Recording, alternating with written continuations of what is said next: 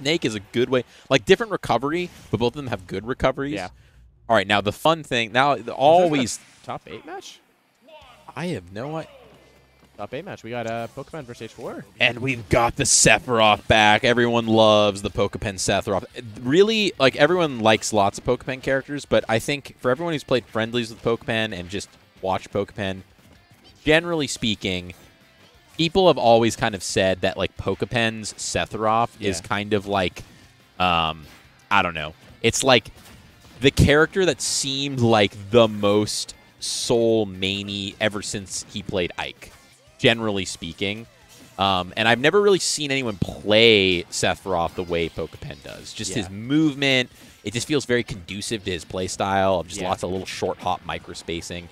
As I'm saying all this, getting blendered by H4 kind of off stage. Yeah. Um, That's definitely a weird thing. I also one thing I think that we see a lot from Pokepen that we don't see. I mean, like right there, it's the side B usage that I think is the big difference between Pokepen and a lot of other Sephiroths. Uh, kind of using it there, it broke both Tegel and went through, and then that was two grapes floating onto the beach. Yeah, and also just the momentum shift of getting that side B in. It's like all of a sudden you got to respect the fact that Yeah. There's this thing that's going to get you probably. Oh, just poking him. That was what a reversal just in momentum. I felt like that was all H4 for the really the beginning of that, and then Pokepen just able to find his way in. Yeah, no, definitely. I, I, I I've been loving to see Pokepen kind of commit more to the Sephiroth and the Rob because I think they're very unique in how they uh, let him express his play, and it really shows through. And it's just, it's it's fantastic. Ooh, that unfortunate. I, I like the idea from H4 trying to use the roll invincibility to try and get through the, the orbs, but taking a lot of damage for that. And since those things always send you back towards the blast zone off stage, has been put into a bad situation. Definitely needs to not this oh, the Oh, that rhyme angle here. makes it back. That nair reversal. Oh my, Pokepen just like reversing the situation somehow. Yeah, And wow. Back air's gonna kill.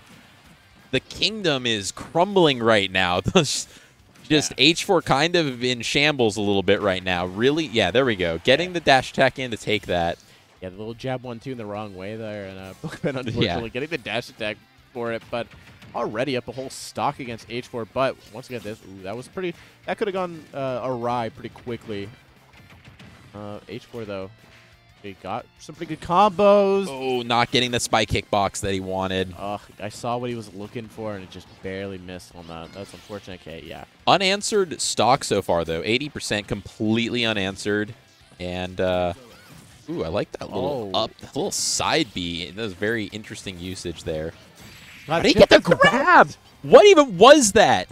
It, it just it all started from that side B. He got the up air, the side B going, and then there's immediately a lot of pressure applied, and Pokepen starts to play the game differently as a result. It was just so fast. He just back the back throw just didn't even look like it real. It just happened so quickly, and it was back throw, back air, Yep, that's an up smash out of shield though.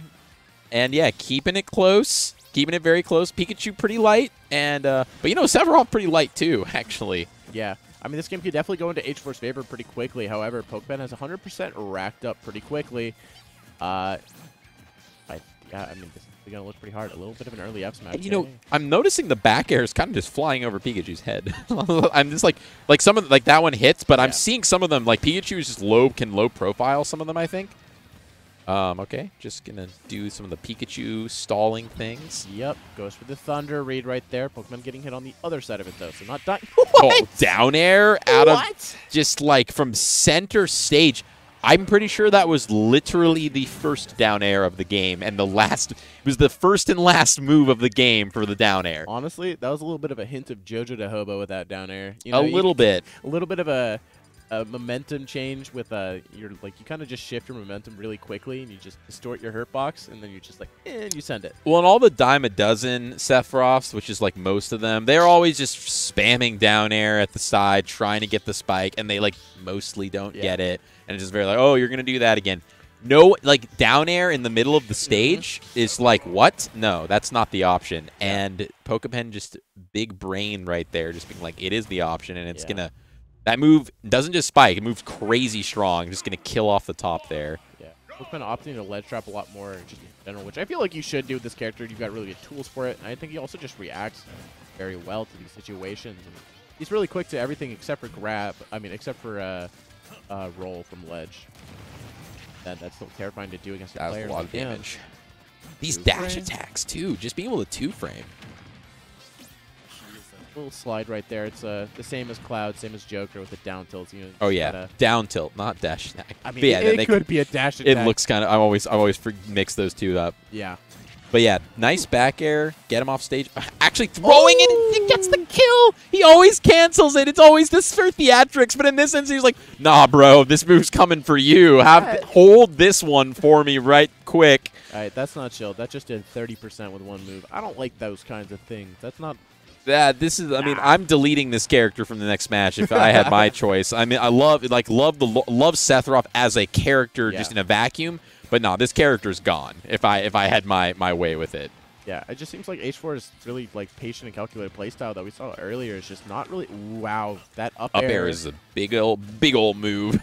Yeah, just struggling to find his mark right now. He's not finding the reads that normally get him, uh, like really net him these kills off stage, down tilt, up in the air. Terrifying spot to be in. Yeah, and that that that um. Wow. Oh my God, clipping Wow. him. Yeah, that's. I don't even really know what Pokepen is particularly doing differently. I feel like H4 is just making some some mistakes and playing a Oh. little. Yeah, frankly, that was just kind of unchar- uncharacteristic play there Yeah. from H4, who's Yeah. usually just a very just like you know consistent. Everything kept pretty tight. Like I noticed, like when he did the um quick attack, he you notice how he quick attacked down the stage, but he he landed like an inch or so above, so he Yeah. fell into tumble and like Yeah. had such a long time to recover. And from that moment, once Pokepen capitalized on that, he basically just didn't have a chance after that disadvantage. Yeah, definitely a lot of flaws just that we're seeing throughout. I think H4, yeah, it's like you said, it's uncharacteristics of what we typically seen. It's also countered by the fact that Pokepen's playing pretty phenomenally right there. Oh Yeah. wow, what a dare find. I mean, everyone generally in Washington kind of agrees that when when push comes to su- shove, if someone's if when Pokepen's playing hot, they're just he's just kind of unbeatable. Is like the gen like everyone you know on the PR is good, but there's a thing of with Pokepen when Pokepen's playing at his best, eh, no one wants just no one wants to fight Pokepen ever. Just something about him. It's just a a, a built different kind of deal. That's uh, a pretty good word for it. Pokepen is built different. Okay, I like the aggressive use of the quick attack right there. Pops up Pokepen. Okay, pretty good shot. Oh, okay. Pokepen sliding off the platform with a little back air. A very thin hitbox. I'm really like, I'm honestly amazed at how consistently he's able to hit Pikachu. Wow, the going deep. Just going off stage against. You feel like a lot of times people think Pikachu kind of gets back to stage for free. You can't edge guard Pikachu. Pokepen's like, I don't know what you're talking about. I'm just gonna go kill this little rat with my Ah. ginormous sword. Okay. I like throwing out Okay. that back air underneath stage that kind of, you know, Pokepen wasn't really ready for it. A bit of an ambiguous tech timing as well, especially since you're going uh, on the underside. Right. Yeah. He was like, respect me off stage. Ex- excuse me, I will be respected off stage, and if you don't, uh, you will hold this back air for that. And uh, yeah, Yep. Yeah, no, Wing is definitely a massive enabler of uh, Pokepen's aggressive playstyle when it comes to off stage. that was fun. The double down tilt looked, looked kind of funny. He just kind of stood there and just like didn't move. Okay, double double purple balls of death, and they're gonna explode pretty soon here. Send them to the blast zone. okay, back Just to gonna take the damage. Yeah, honestly, it's better than what was, what what was coming his way from Sephiroth himself. It's true. Better to take the grapes than uh, take the big old blue flame. Okay. But H4 is definitely like I mean, hey, it's it's a pretty even game so far, but Absolutely. Wing is on deck, so it definitely makes it much harder for H4 to kind of play around, especially in neutral with how fast this character moves. And yeah, okay, there's a full set of uh, the Need to purple get- oh, what is he doing? What are you doing, bro? Oh my god, that was so scary because you go under stage, that begins into a tech, turns into a tech situation, and like, I don't understand that. Yeah, I don't understand it, but yeah, That I don't know. That was a setup and a half right there from Pokepen. That frame trap situation with that up air into the fair to catch H4 off stage, who essentially was forced to up B or else die and still dies anyway. And now- Yeah, and for all I know, maybe if he tried to go to ledge, there was just like a down tilt uh, waiting for him, and then he's gonna get exploded with the purple grapes, with the grapes, anyways. yeah. May, so maybe, frankly, maybe it was big brain to go under there and just take the grape damage underneath.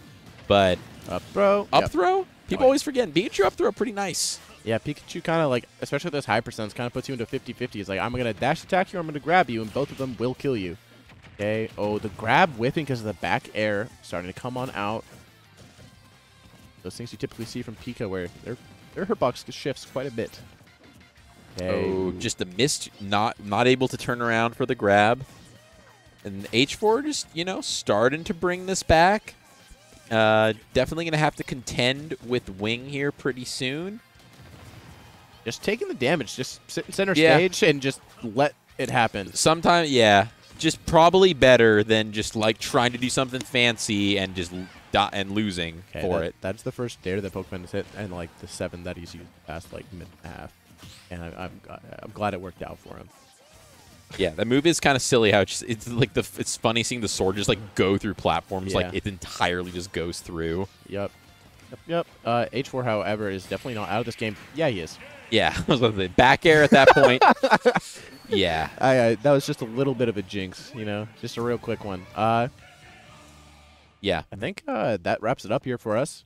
Yep, we are moving on here to top eight, I believe, and yeah. we're having. Um, I know Actually, I don't know who's coming. I'll let them introduce themselves. Yeah. Anyways. Oh, it's uh, Furshaw Massive Potato are going to be your top eight commentators. Right, right. We had a little bit of a taste of top eight right there. That yes, was just, the, a, just a taste. Just a taste.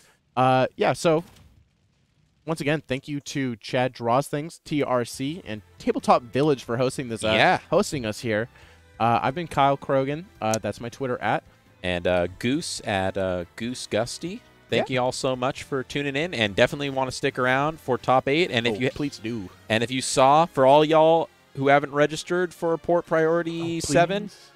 Port Priority 7. It's in a casino. Very cool. N64, you get to play GoldenEye. That's I, I know I'm looking forward it's to it. last week to register, so you have until yes. Sunday to close out on that. And then, yeah, just a quick two weeks after that, we'll be starting with Port Priority 7. The PNW Super Major. It's going to be hype. Hey, I think we're actually almost at that status too. We weren't a super major yet, but we're almost at another. Almost. We're almost. so close. Very, so very close. close. Let's get it over the hump. Yeah. All right. Have a good night, y'all. Peace out.